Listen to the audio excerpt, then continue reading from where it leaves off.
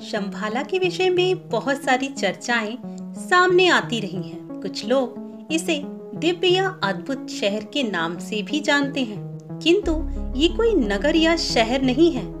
इसका अस्तित्व तो हिमालय में ही कहीं माना जाता है। तो क्या सच में शंभाला हिमालय पर ही कहीं मौजूद है भी या नहीं?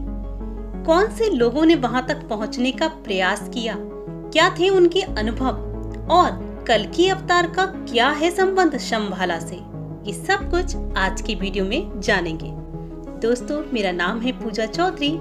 स्वागत है आपका फैक्ट्स गाइड चैनल में। इस चैनल पर आपको इतिहास, सनातन धर्म व अध्यात्म से जुड़े वीडियोस देखने को मिलते हैं। शंभाला के विषय में तरह तरह की कथाएँ, भ्रांतियाँ आपने शायद सुन रखी होंगी। जैसे कि शंभाला एक दिव्य आत्माओं का शहर है या भूमि है। या फिर भगवान कलकी का जन्म स्थान इसी क्षेत्र में होगा। ये भी आपने शायद सुन रखा होगा कि शंभाला में ही छिपे हैं वे चिरंजीवी जो भगवान कलकी और कली के युद्ध के समय प्रकट होंगे। आइए एक एक करके सारे उदाहरण देखते हैं। सबसे पहला उदाहरण देखते हैं, जिससे शंभाला के अस्तित्व के विषय में पहली सूचना मिलती है।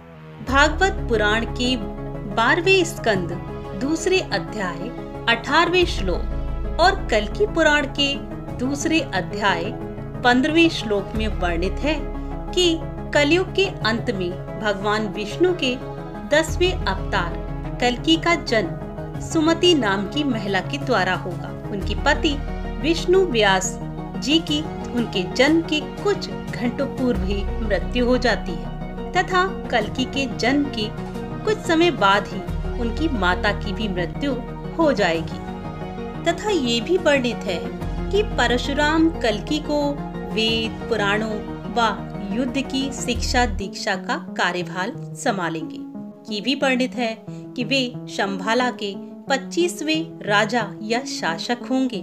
पुराणों के अनुसार जब मनुष्य जाति पूर्ण रूप से अपने अपने धर्म का त्याग कर देगी जब राजा ही लुटेरा व चोर बन जाएगा और राक्षसी प्रवृत्तियाँ महाप्रबल होती जाएँगी, तभी कलकी अपने सफ़ेद घोड़े पर सवार होकर एक दिव्य तलवार लेकर सैकड़ों सेनाओं का नेतृत्व करते हुए शंभाला से ही प्रकट होंगे।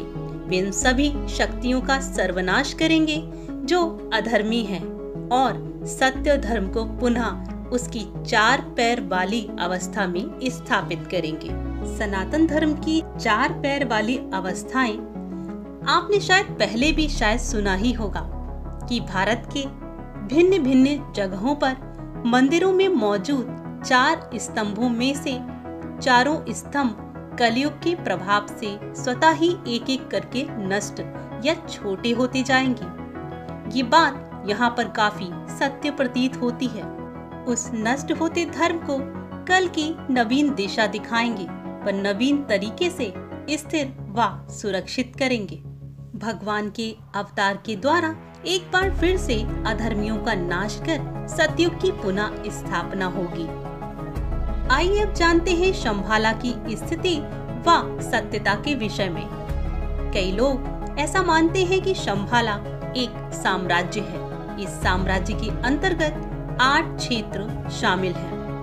शंबाला के ठीक मध्य में नौ मंजिला क्रिस्टल से बना एक पर्वत है। इस पर्वत पर कमल स्वरूप में काल चक्र मंडल स्थित है।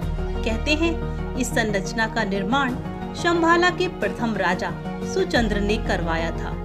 शंभाला की राजधानी कला है। कहा जाता है कि हमारे महाकाव्यों में वर्णित अमर चिरंजीवी जैसे कि हनुमान जी, अश्वस्थामा इत्यादि आज भी शंभाला में ही कहीं निवासरत हैं। कहा जाता है शंभाला वासियों के पास असाधारण बुद्धि तथा सबसे उन्नत तकनीकी भी मौजूद है। पिछले काल या समय में पुनः जा सकते हैं। वे अन्य ग्रहों व आकाश गंगाओं के लोगों से संपर्क भी स्थापित करते हैं। यहाँ के लोग अत्यंत सुंदर, ऊर्जावान व उनकी आयु एक हज़ार वर्ष से काफ़ी अधिक रहती है। वे पूर्णता स्वस्थ रहते हैं, उनकी कभी मृत्यु नहीं होती। वे भविष्य में होने वाली घटनाओं का पूर्वानुमान लगा सकते हैं। माना जाता है, सभी वेद संभाला से ही उत्पन्न हुए हैं। अभी तक इसकी स्थिति के होने की बात की जाए तो मनुष्य ने इसकी तीन दिशाएँ पता कर पाई हैं। यानी कि तीन आयाम पता कर पाए हैं। चौथा आयाम भी होगा, परंतु अभी तक उसका पता किसी को भी नहीं चल पाया, जो कि समय व अंतरिक्ष है।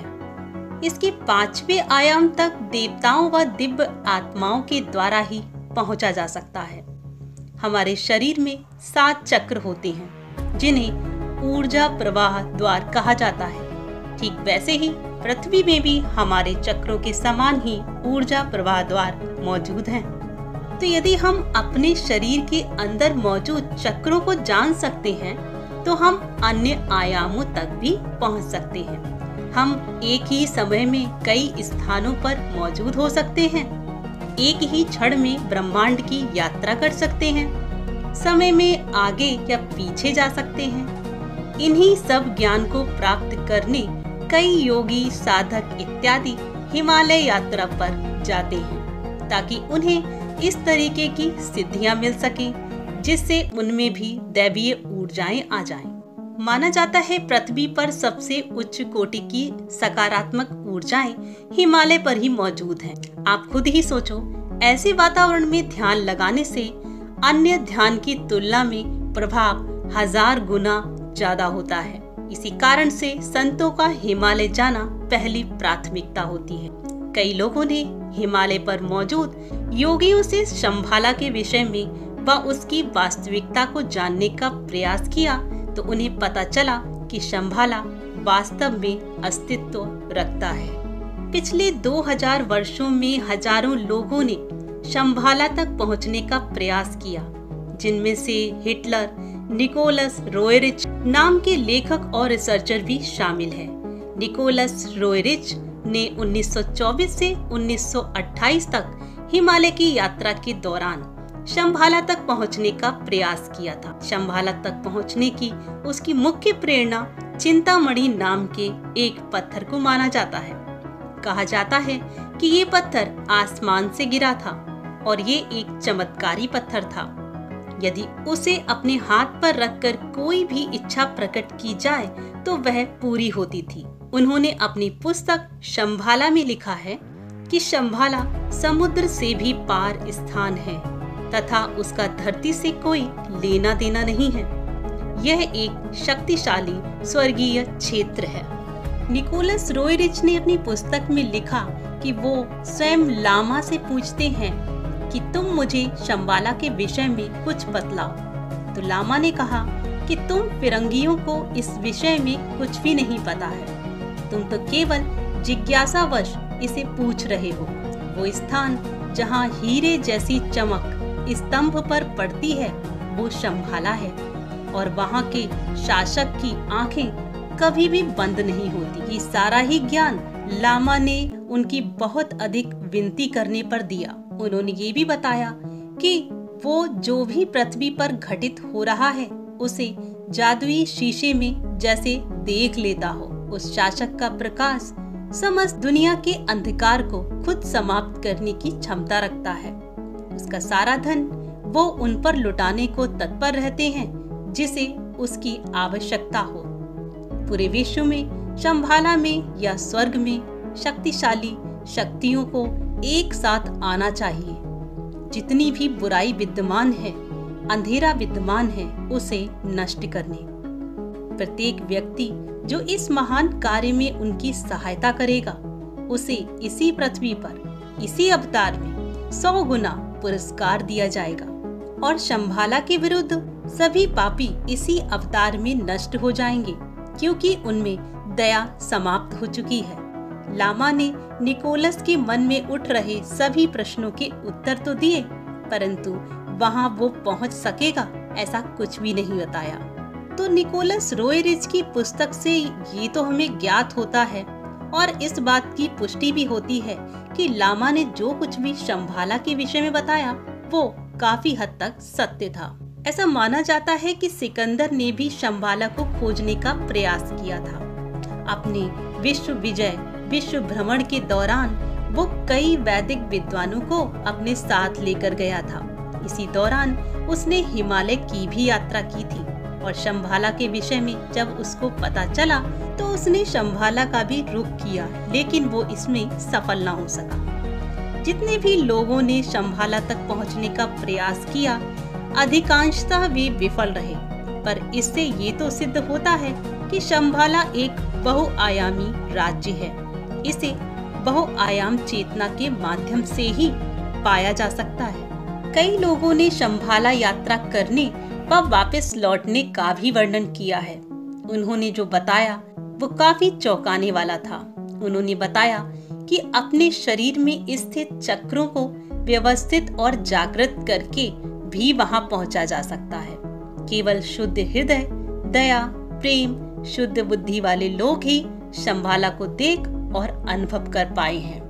अब अंत में वह प्रश्न, जिस विषय पर आपको YouTube पर तमाम वीडियो व Google पर आर्टिकल मिल जाएँगे, कि क्या वास्तव में इसी संभाला से कल की भगवान प्रकट होंगे।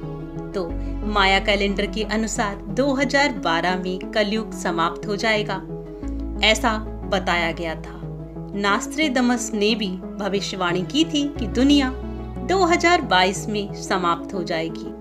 एलेक्स ब्राज़ील ने कालचक्र पुस्तक में ये गणना की थी कि कल की दो हज़ार आठ सौ अठानवे में आएँगे। दुनिया का हर धर्म उस अवतार की बात करता है, जो कलयुग के अंत में आएँगे। जैसे कि यहूदी लोगों को मसीहा की प्रतीक्षा है, ईसाई लोग ईसा मसीह की प्रतीक्षारत हैं, बौद्ध 25वें शासक की प्रतीक्षा कर रहे हैं वैसे ही सनातन धर्म कल की भगवान की प्रतीक्षा कर रहा है। अब हम कलयुग व कलकी के विषय में ज़्यादा बात नहीं करेंगे, क्योंकि जिज्ञासावश इस विषय पर तो आपने पहले ही कई बार रिसर्च कर रखी होगी। आप तो बस इतना बतलाइए कि शंभाला के विषय में, पुस्तकों में जो ज्ञान वर्णित है, दर्ज है, उसको जानकर आपको कैसा लगा? मैंने पूरा प्रयास किया कि आपको शंभाला के विषय में थोड़ा हट के नवीन जानकारी प्रदान करूँ। यदि आपको आज का वीडियो पसंद आया हो तो प्लीज़ इसे एक लाइक कीजिएगा। चैनल यदि सब्सक्राइब नहीं किया तो सब्सक्राइब कीजिए इसी तरीके के अन्य वीडियोस के लिए। और वीडियो को शेयर अवश्य कीजिएगा। मैं मिलूँगी आपसे अगले वीडियो में, तब तक के लिए नमस्कार।